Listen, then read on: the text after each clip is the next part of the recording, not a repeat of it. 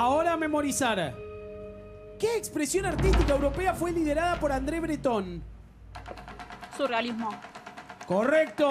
¿En qué año Albert Einstein publicó su teoría general de la relatividad? 1915. Correcto.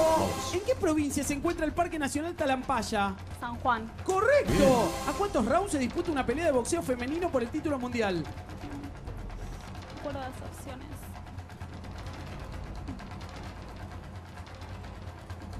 ¿A cuántos rounds se disputa una pelea de boxeo femenino por el título mundial? 10. Correcto, Melanie. ¿En cuántos departamentos se divide la provincia de Santa Fe?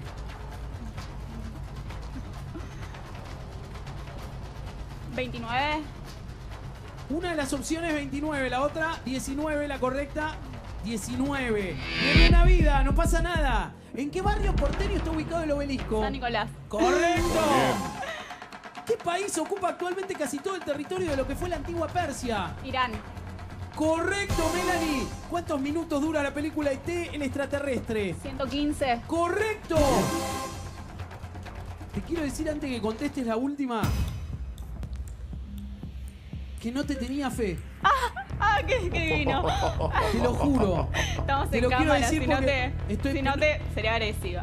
No, bueno. no, pará, pero ¿por qué? ¿Me viste ¿Sabes cara de hueca? No, no, no te tenía fe cuando empezamos a repasar. Ah, no, bueno, lo tomaste como una agresión. No, no, porque además no se trata de una cuestión No, de no, hueco no. y de no, va, yo no lo vivo así, por eso es que No, le yo digo estoy eso. re nerviosa igual. No, eh. es que se trata de la tele, por eso yo me imagino que me hacen las preguntas a mí y no me considero hueco y pienso que no me va bien por ahí en la tele con todos los nervios, No, todos sí, mirando estoy re nerviosa, y estoy re pensando nerviosa. que uno puede quedar mal. No, te Sí. pido por favor, Melanie, te pido disculpas si lo tomaste mal, ¿eh? No, no, no, no. Cero. De ninguna No, manera. Al contrario, lo digo por lo, por lo huevón Si no, estoy mío. re nerviosa Qué igual. poca intuición haciendo tantos programas. Me podría dar más cuenta, más o menos, quién Estoy viene bien y quién no. seguro. No, así que te pido disculpas y, y además te pregunto la última. A ver. Y, y de hecho me frené porque ya estás en condiciones de ganar, pero y además te, te veo bien. ¿Quién fue el autor de la ópera La Traviata?